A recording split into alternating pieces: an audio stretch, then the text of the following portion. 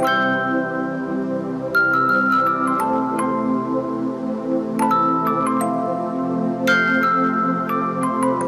mừng quý vị và các bạn đã đến với bản tin dự báo thời tiết ngày hôm nay và ngày mai trên kênh VTV Tiên. Thưa quý vị và các bạn, khứ không khí lạnh đã ảnh hưởng đến khắp nơi ở Bắc Bộ, khiến cho thời tiết chuyển biến rõ rệt. Nền nhiệt thấp nhất ở các tỉnh Bắc Bộ như nhiều nơi ở khu vực vùng núi hạ xuống dưới 10 độ. Ở các tỉnh thuộc khu vực đồng bằng, nhiệt độ chỉ còn 12 đến 14 độ. Vùng nước cao thì nhiệt độ dưới 8 độ trời chuyển rét đậm có nơi rét hại.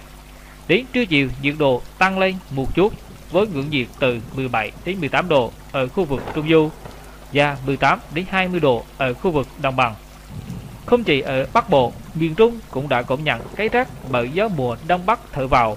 Trong ngày hôm nay, khứ không khí lạnh đầy hay rác xuống khiến cho các tỉnh thành phố ở khu vực từ Quảng Trị đến Khánh Hòa cũng có mưa rào đến mưa to với lượng mưa phổ biến từ 80 đến 150 mm, có nơi trên 180 mm.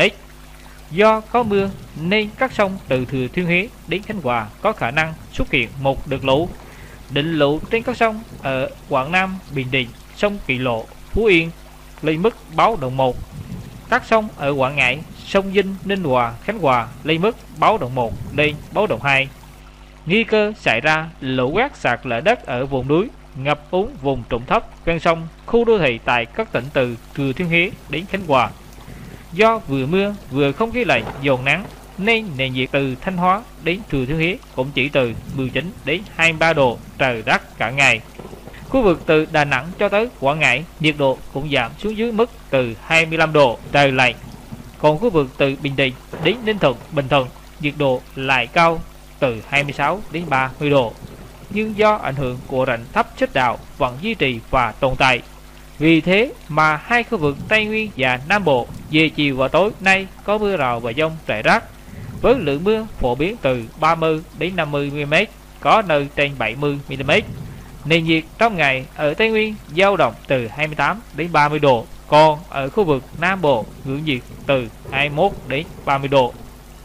Trên biển do ảnh hưởng của không khí lạnh nên ngày hôm nay ở vịnh Bắc Bộ, khu vực Bắc Biển Đông, bao gồm quần đảo Hoàng Sa, có gió Đông Bắc mạnh cấp 6 lên cấp 7, có lúc cấp 8, giật cấp 9, biển động mạnh, sóng biển cao từ 2 đến 4 mét. Vùng biển từ Quảng Trị đến Cà Mau và khu vực giữa Biển Đông có gió Đông Bắc mạnh cấp 6, có lúc cấp 7, giật cấp 8, biển động mạnh, sóng biển cao từ 2 đến 3 mét.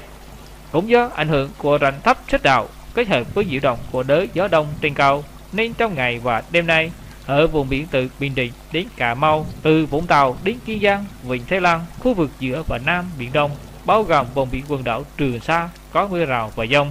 Trong mưa dông có khả năng xảy ra lốc xoáy và gió giật mạnh. Cảm ơn quý vị và các bạn đã dành thời gian theo dõi. Thân ái, chào tạm biệt và hẹn gặp lại quý vị